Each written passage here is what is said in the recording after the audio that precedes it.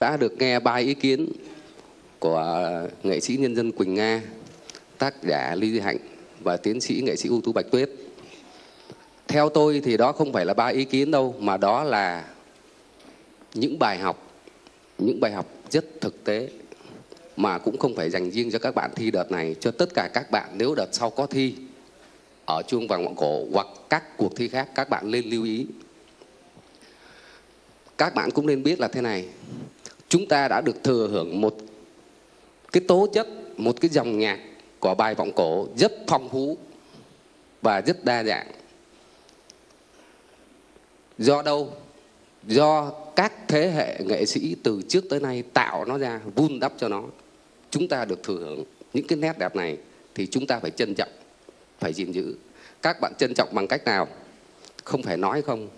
Các bạn sẽ thể hiện cái trân trọng đó khi các bạn cầm một cái bài ca lẻ hoặc một cái bài ca ở trong trích đoạn, các bạn phải để ý đến cái ý, cái tứ nhấn nhá từng chữ, từng ý, chứ không phải chỉ ca đúng nhịp không là đủ đâu. Vì cái bài vọng cổ nó phong phú, có nghĩa là ở trong câu các bạn có quyền bỏ ra ngoài nhịp và trước nhịp. Cho nên các bạn phải lưu ý rất là kỹ, vọng cổ mỗi người ca một cách khác nhau. Ở đây tôi có cảm giác các bạn mới chỉ ca cho đúng chữ, chứ chưa đúng ý, chưa đúng tứ bạn thu, thì cái giọng bạn rất là khỏe, nhưng bạn chưa biết điều tiết cái âm lượng. Không phải chỉ có giọng khỏe là được đâu, bạn phải điều tiết âm lượng lúc lớn, lúc nhỏ. Cô vô của bạn thì ờ, chưa đạt. Bữa trước bạn vô vọng cổ tôi nghe thấy là nó hấp dẫn hơn bữa nay. Có thể bữa nay cậu bạn căng thẳng. Còn bạn ờ, phính câu vô vọng cổ hoặc là vô bất cứ một bài gì, câu vô rất quan trọng. Nhưng mà cả hai lần vô, một lần vô xương chiều và một lần vô vọng cổ, bạn chưa chuẩn. Bạn lưu ý. Bạn ca trong lòng bạn thì được. Nhưng mà câu vô thì bạn chưa được chuẩn. Bạn lưu ý.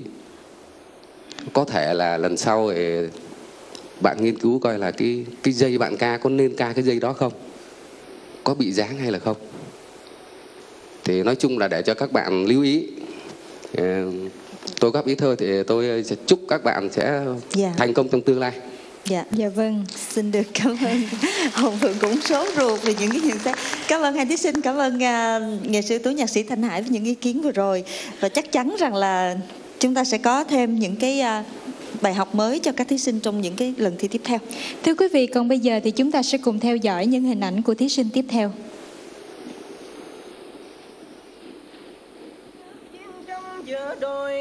Kính chào quý vị khán giả.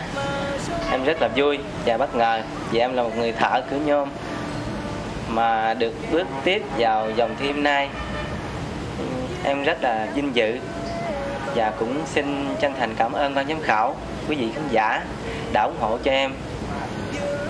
Và đêm nay quý vị khán giả cũng tiếp ủng hộ cho em Và bình chọn cho em số báo danh là 06 Thưa quý vị, bây giờ là phần dự thi của thí sinh Nguyễn Bình Trọng mã số bình chọn 06 với bài ca Yêu tiếng hát quê hương của tác giả Hữu Lộc với phần phụ diễn của Chuông Bạc 2006 Hồ Ngọc Trinh. Mời quý vị cùng theo dõi.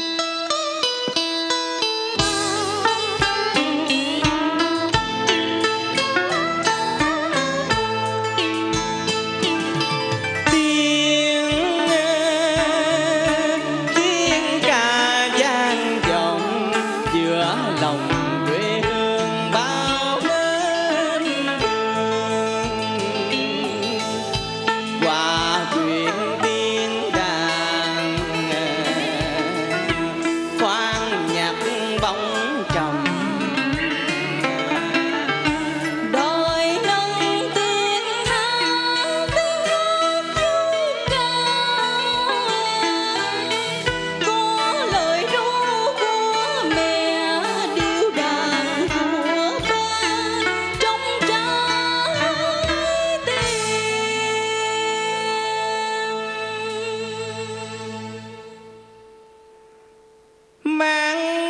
Đàn của nội tổ trên vai. Mùa thu ấy ba đi làm chiến sĩ khi dưới hào sau khi đồng bưng lửa khói, tiếng ác giữa bùn rơi. Ba dành lại nước